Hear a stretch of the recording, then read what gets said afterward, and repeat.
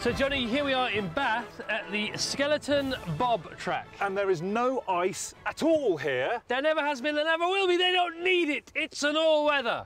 And the thing about it is that it doesn't look very steep here, No? but it is. It is very steep. And at the bottom, we can get up to like 30 to 40 kilometres an hour. But then we've got to stop, which we're going to do with the help, hopefully, of a bungee. Yes, and with the help as well of an Olympic gold medalist, Oh. Amy Williams. You're right, Amy. How are you? Hello, Amy. How are you? Good, to see you. So, what's this here? So this is the skeleton track that I train on all summer. Okay, Amy, we're all yours. Good. Okay, so first things first, get you into the sprint start position. Okay. Oh, you're looking good. Thanks, mate. Do I get on my knees first or not?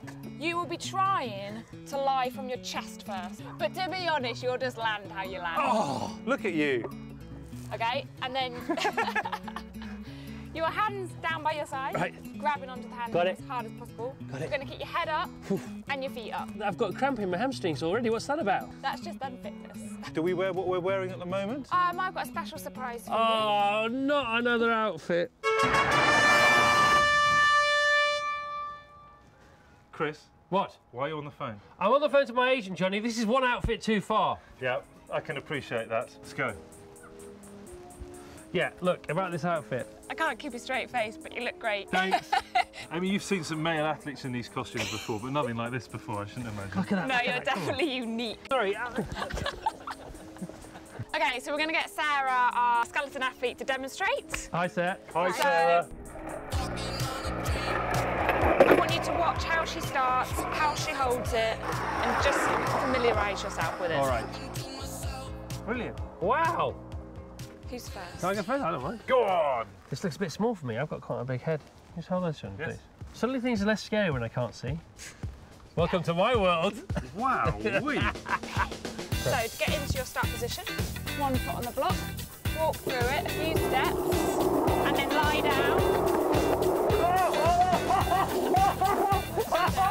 This is right, you can't stop.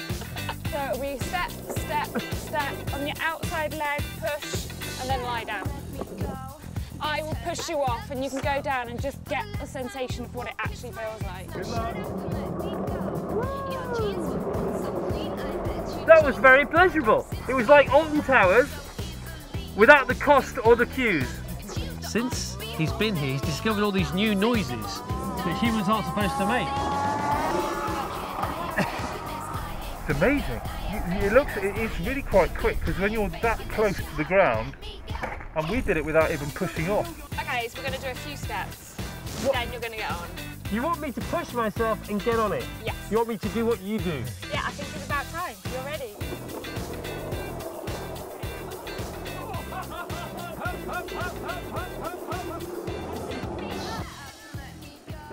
be honest, they're really, really equal. I think it's going to be hard. Whoever's brave enough to push the quickest and to push the hardest will win.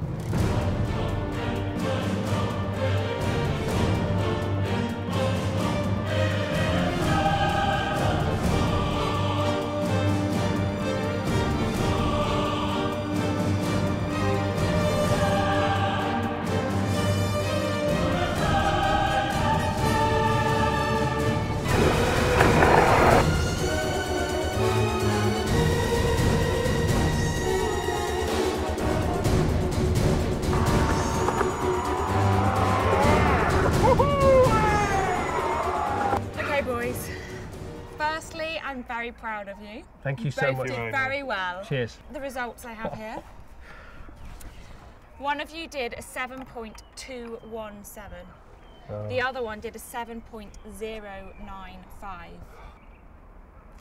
Jonny, Oh, no! congratulations. That's a surprise, I have to say. He says that every time he I know, well, wins. it is a surprise. So after 15 sporting challenges, it's now Jonny 9, Chris 6.